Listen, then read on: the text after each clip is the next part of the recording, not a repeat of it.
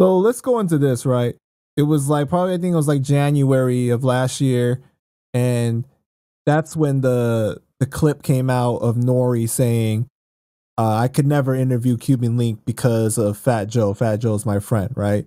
And I remember nobody really caught on to that when um and I watched the the podcast and the moment that I saw that clip, I said, that's the star clip right there. I gotta put that clip out. Because that and I wasn't even thinking Mhm. about it in a sense, like on a deep level, like, see, this is proof for the blackballing and blah blah blah. But nobody wanted to mention Cuban Link really. was. And I, that was the, the the big idea to me. I was like, wow, like nobody really wants to talk about him. NORE is finally talking about him. That's why I think I think the I think the, even though he, you know he did it by mistake, he, he, he didn't do it by mistake. He did it because it's a real situation behind the scenes. So uh, I mean, uh, I'm sure Joe probably got pissed the fact that he made me rele- relevant again on some level that you know saying talking about me. But they've been talking about me and Drink Champs for a minute. You know, they take their shot. They, they, they, they started off with unity in the beginning. Uh, EFN always throws you know, a little bit. Like I said, EFN was, a friend of mine before he was, uh, you know, anything like that with NORE. Um, in Miami, he used to be my DJ. Uh, we rocked some shows together. Uh, humble cat. Um, but it's just, you know, it's not, it's, it's not enough for, for us to have a good rapport, for me to have a good rapport with somebody. They know my, they know who I am. They know, uh, you know, what I mean, uh, what I stand for, uh, you know, how we kicked it. That's not enough. So, uh, and I don't want nobody to lose anything crazy over me or stand up, take a bullet. No, nigga, I'm not that. I'm nigga who'll do that for you. That's why I, I saw a show I was. But at the same time, it would be good for a motherfucker to say some real shit, man. Make a nigga, you know what I'm saying? Like stand up for for somebody that, you know what I'm saying? At the end of the day, she gave you love. She gave you love. That's the problem with the shit. You know what I'm saying? You could do something for somebody, but then when life comes back around and shows them or gives them the opportunity to showcase they motherfucking how they feel about you in a positive, way. Love. In my case, motherfuckers fold like fucking pretzels. No salt. Oh man, matter of fact, mad salt and mustard. That's what they fold like. But me, I'll tell you countless stories. I think I did. When I stood up, they just know, nah, that's my nigga. It's my nigga. Can't do that. Can't do that. Nah. I did it for Joe too. Some niggas in there, in that crew right there, that were my defectors that are over there, that I stopped them from doing anything to Joe. They know. You think that they want me to bring things up like that now? It's just the how the fuck can you stand in that square and then represent your boy Cuban? That nigga did it for you. That's what I have a personal problem with. And that's a lesson I have to learn. You know? And So- also also know that this is a you know an entertainment game right here is very, very, very fucking um, ugly. It's ugly with that. With, with with honor and loyalty and shit, you know, supposed to have for certain things because that, that spotlight and, and that money's involved and, and them snakes in there talking that hell of a fucking game. So you got to be on point. So that clip blew up everything because right when I put that clip out, I think it got like 60,000 views or something like Oh, some shit. crazy like You thinking about the cute uh, the clip still? Oh, my, my bad. I took it somewhere else. no no no, no that's cool yeah, yeah yeah but uh, it really blew up uh started to gain a lot of traction on the channel and everything right and I Yeah, yeah. remember I reached out to you and we were supposed to do a second interview uh cuz you was going to give me the exclusive on how you felt about that whole situation with NORE and um Yeah. and so it blew uh, I remember like I, we couldn't get in touch or whatever We did though. We did do something though. That's what I we told you didn't about. do it the time that you said that we were going to do it because you know how you are with scheduling and stuff. Okay. But then I remember I finally was Yeah. able to contact you and you pulled over on the side of the road. You was like an hour away from home, and that started the interviews in the car.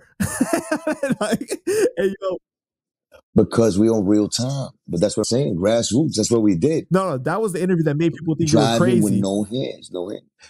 Yeah, because of no hands. you was like in the dark With the no hands almost, like part of your face was like dark, and like you was like you was on that real like uh talking about how you were mad at NORE before and what caused all these different things, and then the whole Math Hoffa aspect of it, right? And then that was the first time. Yeah, that I mean, because I hate, I hate, I hate a motherfucker that jumps in and you got no no invitation. Like, who told you to jump in? Like, but I know who told you. But I, I, I just want China.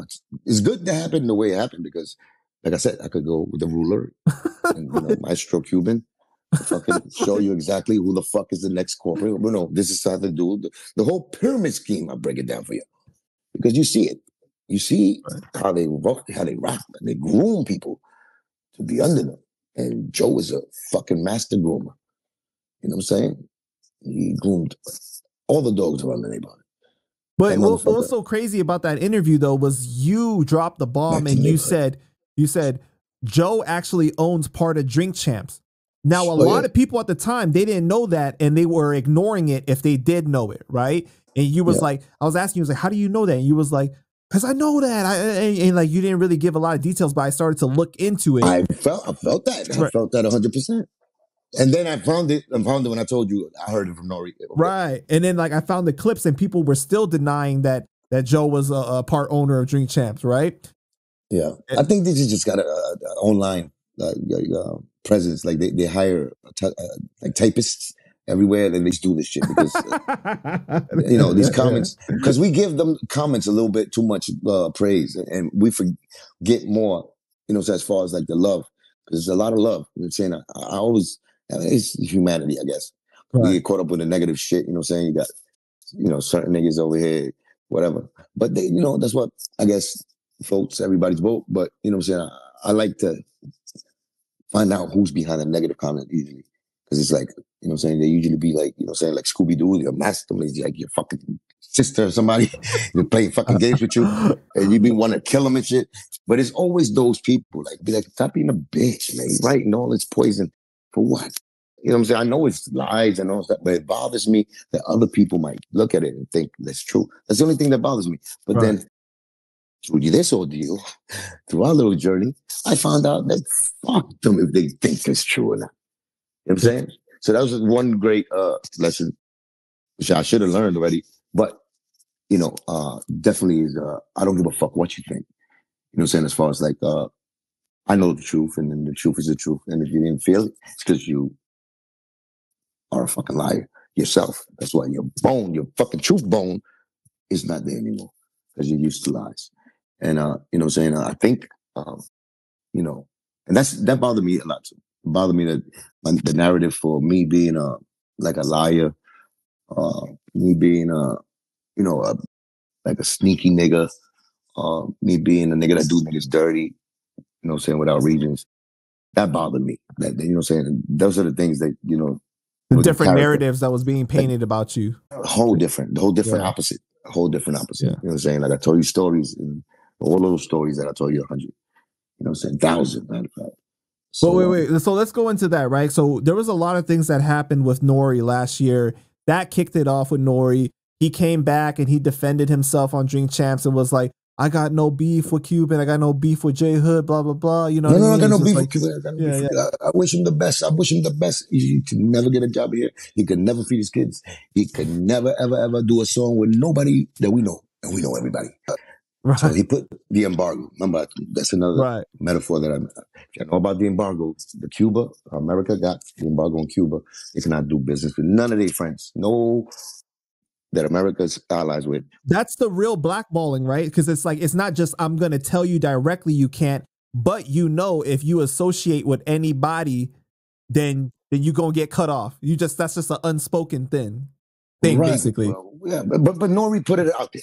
Yeah, so I appreciate the you know the alcoholic, you know what I'm saying, uh, for doing that. You know what I'm saying? Because at the end of the day, uh, slow down, kid. A little bit, bit, bit, bit, bit, bit, bit.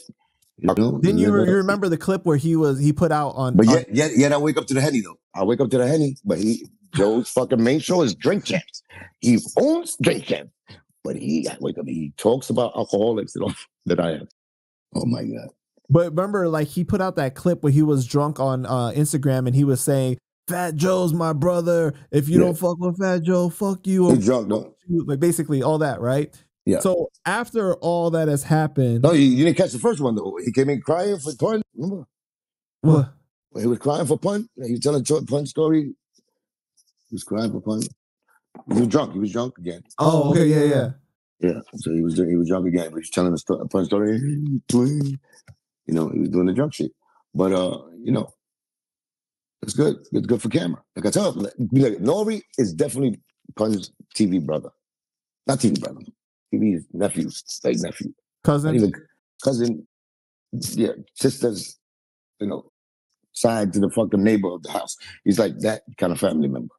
You know what I'm saying? Which he comes in and he does the greatest act when he's drunk on me. You know what I'm saying? Because he drinks a lot. So he's very, very uh charismatic with the drinking. Just like, you know saying? they thought, you know, that they, they tried to throw that on me.